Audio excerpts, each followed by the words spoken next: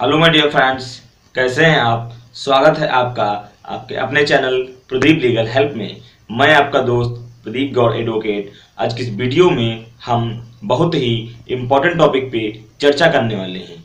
आज के इस वीडियो में हम चर्चा करने वाले हैं। कोई पति या पत्नी बिना तलाक लिए दूसरी शादी कर सकता है क्या? अपने पहले वाले पति या पत्नी के जीवन काल में दूसरी शादी कर सकता है क्या?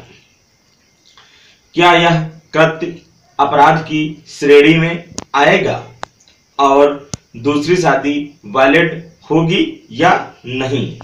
सो फ्रेंड्स आइए शुरू करते हैं। तो सबसे पहले तो आपको बता दें कि कोई भी पति या पत्नी बिना तलाक लिए पहले वाले पति या पत्नी के जीवन काल में दूसरी शादी नहीं कर सकता है। ऐसा कृत्य अपराध की श्रेणी में आता है।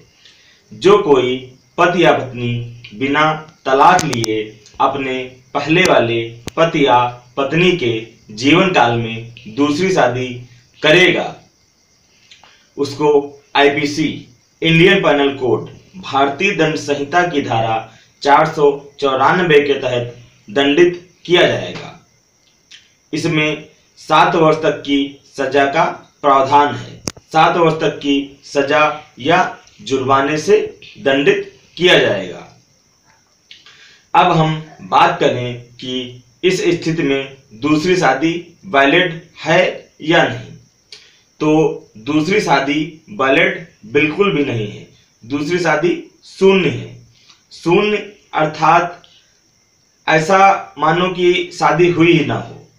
अर्थात दूसरी पत्नी अपने पति से किसी भी प्रकार का क्लेम नहीं कर सकती है। सो so फ्रेंड्स ये थी कुछ इम्पोर्टेंट जानकारी।